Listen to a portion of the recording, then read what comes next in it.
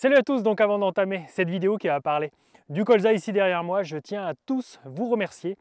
La chaîne agricole sur YouTube a passé le cap extraordinaire des 100 000 abonnés. Donc merci à vous tous de me regarder assidûment depuis maintenant plus de 5 années. Comptez sur moi pour les années à venir. Donc allez, entrons directement dans le vif du sujet. Je voulais vous faire un bilan de la culture de colza. Il y a 6 parcelles au total, soit une surface de 38 hectares semés et 38 hectares levés. Au jour d'aujourd'hui et deux mois après les semis, c'est plutôt un succès du semis. Il y a parfois des semis qui se passent mal et des parcelles que l'on doit retourner, des parcelles de colza qui ne sont donc pas viables, où il va manquer des plants. Et ici derrière moi, vous le voyez, c'est tout le contraire. Il y a suffisamment de plants, je vais vous expliquer tout ça. On est dans des argilo-calcaires vous voyez qu'aujourd'hui, euh, le colza est bien couvrant. Il est à plus de 8 feuilles hein, aujourd'hui, donc c'est un objectif euh, rempli, car je veux que le colza soit fort à l'entrée de l'hiver. Les ravageurs, les limaces et puis d'autres insectes, comme ça, vont peut-être pouvoir le manger, ils vont le manger, mais il ne dépérira pas. Il, aura suffisamment de végétation pour euh, compenser la perte de matière mangée. Donc là, je vais avancer dans le champ. Est-ce que vous remarquez Il y a des zones un petit peu jaune.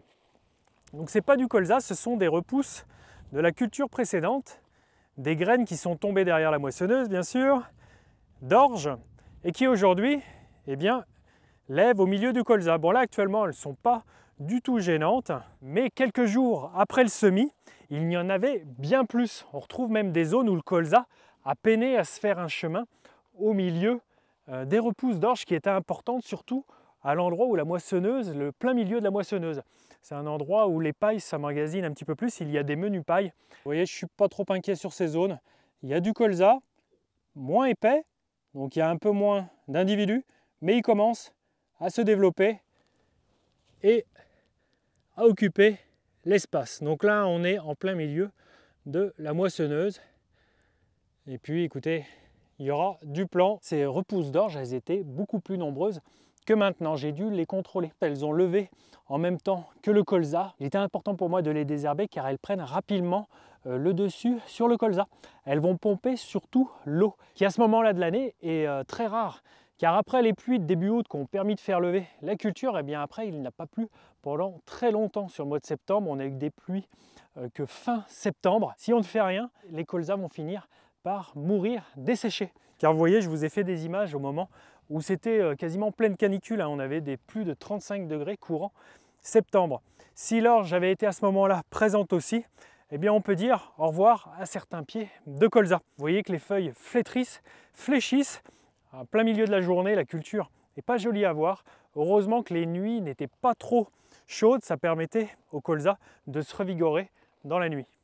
Rapidement hors de terre, elle s'est fait attaquer par des limaces. Donc je suis intervenu avec entre 2 et 3 kg d'antilimace, euh, du euh, phosphate ferrique. Donc un antilimace qui cible que la limace et pas les autres insectes qui peuvent peupler le sol comme les carabes.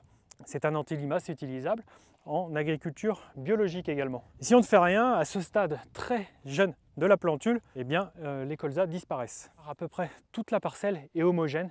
Il n'y a pas ici de trous. C'est une parcelle qui fait 22 hectares. J'ai réglé mon semoir pour qu'il sème environ 60 graines au mètre carré. Il y a un petit peu d'hybride à hauteur de 15 graines par mètre carré et 45 graines de pamela. Donc tout n'a pas levé. Bon, J'estime qu'il y a environ entre 20 et 30 individus viables au mètre carré qui passeront l'hiver. Donc c'est très bien, sachant qu'un colza, même s'il est à 10 individus mètre carré, c'est encore bon. Ce qui se passe ici et pas dans les autres parcelles, vous allez voir, on a euh, la visite de pas mal d'individus, ce ne sont pas des limaces, mais des sangliers. Ils sont venus et ils visitent régulièrement, pas toutes les nuits, mais ils visitent à peu près 2-3 hectares dans la culture. Ils éclaircissent la culture, il en reste toujours quelques individus au mètre carré, donc euh, les trous devraient un petit peu se gommer. Mais je surveille quand même ces zones car si le dégât devient trop important, ça peut être problématique. Je contacterai peut-être la fédération de chasse à la veille de la moisson pour leur faire constater les dégâts et pourquoi pas prévoir une indemnisation. Ce que j'ai surveillé activement sur cette parcelle et puis sur les autres, ce sont les insectes et surtout euh, les altises, ce petit insecte tout petit, un coléoptère tout tout petit, mais qui va aimer lui aussi euh, la jeune plantule de colza, les cotylédons, qui va les manger, faire des piqûres, et quand ça devient important, eh bien ça fait disparaître les plants. Eh bien cette année, on a eu 2-3 piqûres par-ci par-là, peut-être certaines zones près des bois là-bas, et puis les bois là-bas, en bordure, mais des attaques très très modérées. Donc je n'ai fait aucun insecticide ici dans les colzas, mais vous verrez tout à l'heure, il y a une parcelle parmi les six où j'ai dû intervenir et c'est pas pour l'altise. J'ai été super étonné par la capacité du colza qui était à peu près au stade 6 feuilles de résister à ces fortes chaleurs. Et puis on peut dire que dans le profil 20-30 cm, il y avait vraiment plus d'eau. Ce qui s'est passé, c'est que la structure du sol était suffisamment bonne pour que le colza pivote. Avec sa racine principale, que l'on appelle un pivot, il est allé chercher très loin eh bien, le peu d'humidité qu'il pouvait y avoir. On va arracher un plan pour vous montrer. Mais là, je fais ça vraiment sauvagement. Ici, vous voyez, qui file tout droit. On est à 10-15 cm de profondeur. Et je suis sûr qu'il y a autant de racines. Je suis sûr qu'il y a encore 20 cm de racines plus bas que j'ai arraché. C'est grâce à ça qu'il a survécu. Mais aussi par le fait qu'il soit euh, déjà puissamment installé. Il avait déjà 6 feuilles quand le chaud est arrivé. S'il était beaucoup plus petit, eh bien on peut avoir de la disparition de plants à cause du sec. Et ça, je l'ai constaté en bordure de bois, la disparition des plants, car les bois, les rives de haies, eh bien, concurrencent beaucoup en eau la culture. Il y a 4-5 mètres selon les endroits en fonction de la hauteur de la bordure dont le colza a disparu. Et là, on va y aller car vous voyez qu'une averse est en train de venir loin.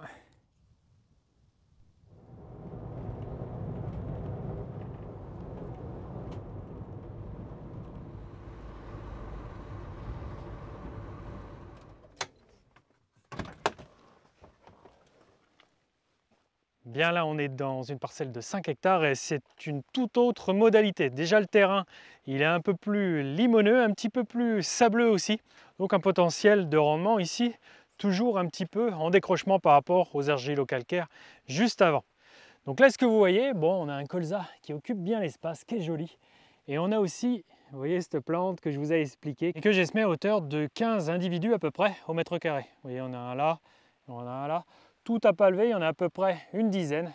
Donc cette févrole va accompagner le colza durant l'automne et puis un bout de l'hiver. Mon idée avec cette févrole, c'est pas de la rendre productive, qu'elle ne fasse pas de graines, je veux juste qu'agronomiquement, elle accompagne le colza, qu'elle lui apporte durant l'hiver un petit peu d'azote. Ça va comme ça donner des nutriments au colza, même si la févrole ne libère pas à ce moment-là de son cycle un maximum d'azote mais quand même, ça va bien l'accompagner. Ça va aussi, comme je vous l'avais expliqué au semis, euh, faire déviation euh, des ravageurs, les charançons, les altises. Si elles s'occupent d'une févrole et qu'elles attaquent une févrole, elles ne s'occupent pas d'un colza. Mais franchement, je suis satisfait. Le colza occupe bien l'espace, même s'ils sont moins nombreux par mètre carré. Là, il est parti même très très vigoureusement. Bon, il n'est pas en train de s'allonger lui non plus. Ici aussi, j'ai dû contrôler les graminées car on est sur un précédent blé. Il y avait un blé à l'été dernier, il y a quelques mois, et de nombreuses repousses ont concurrencé le colza dans ses premiers jours de levée et de croissance. Ce que l'on a, on a des levées de mauvaises herbes, des sanves et des ramenelles. Mais là, vous voyez qu'elles sont déjà en train de fleurir. J'ai strictement rien fait comme désherbage anti-dicotylédone pour contrôler par exemple ces types de plantes. Ici, elle est en train de fleurir, elle va complètement disparaître durant l'hiver. Il y aura sûrement d'autres levées, puis vous voyez qu'il y a des plants qui sont en cours de se former. Mais ça, c'est pareil, je me donne jusqu'à la sortie de l'hiver. Si j'ai trop d'individus de ce type qui peuvent concurrencer au printemps le colza, eh bien j'interviendrai. Mais là, avant l'hiver, je ne fais rien. Alors tout à l'heure, je vous ai parlé d'insecticides que je n'ai pas fait sur la majorité des parcelles, sauf sur celle-ci. Pas pour contrôler les altises, ce petit coléoptère qui mange les feuilles du colza, mais pour contrôler la noctuelle.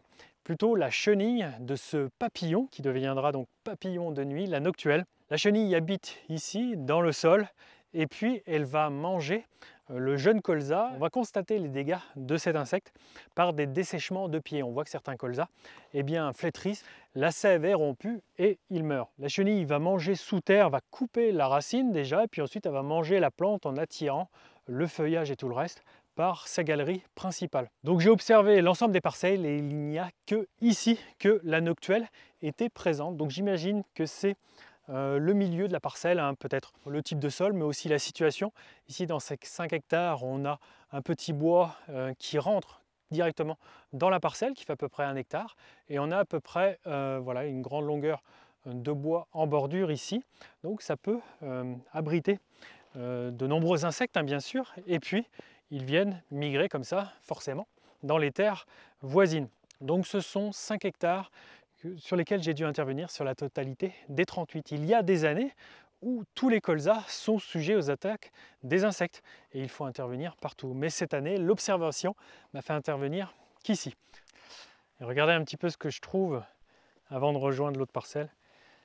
J'ai découvert ce plan là comme ça, par terre, allongé, donc c'est pas normal qu'il soit à l'horizontale quand on regarde ses copains à côté.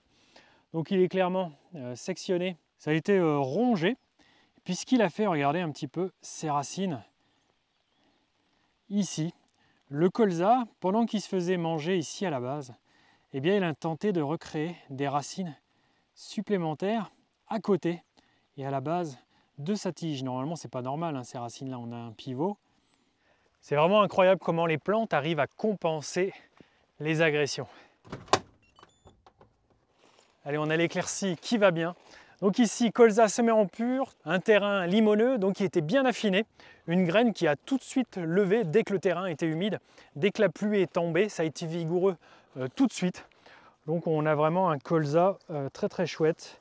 On a déjà un super chevelu racinaire.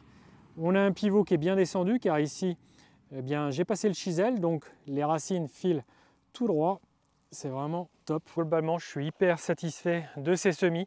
Euh, j'ai eu beaucoup de chance d'avoir l'eau finalement au bon moment. Lorsque j'ai semé, c'était pas garanti que les averses annoncées viennent. Je sais que nombreux confrères ont semé dans un terrain sec dans l'espoir comme moi d'avoir une pluie d'orage les jours suivants. Les orages sont pas venus, les graines sont restées en terre 3-4 semaines avant de germer. C'était au semi 2018, il y a deux ans. J'avais semé à peu près la même surface, une quarantaine d'hectares, et j'avais dû en détruire une vingtaine car il n'y avait pas assez de peuplement, euh, pas assez de levée. Ça avait été un échec sur donc la moitié. Donc cette année, c'est plutôt bien parti, même si euh, le chemin est encore long. Là, il s'est passé euh, deux mois depuis le semis, et il reste encore huit bons mois de chemin à parcourir car on récolte le colza que fin juin, début juillet. Et là, nous sommes donc au mois d'octobre. Il y aura les maladies qui risquent de venir. Et puis euh, la grêle aussi ça arrive, c'est arrivé cette année. Voilà, je vous remercie d'avoir suivi cette vidéo. Je vous dis comme d'habitude à mardi prochain et merci encore une fois d'être aussi nombreux sur la chaîne. Je vous dis à mardi 7h30. Ciao